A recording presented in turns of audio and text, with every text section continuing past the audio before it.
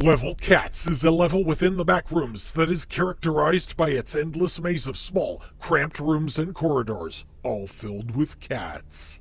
It is unclear how these cats got here or why they're present in such large numbers, but it is generally accepted that they are simply a manifestation of the back room's anomalous properties.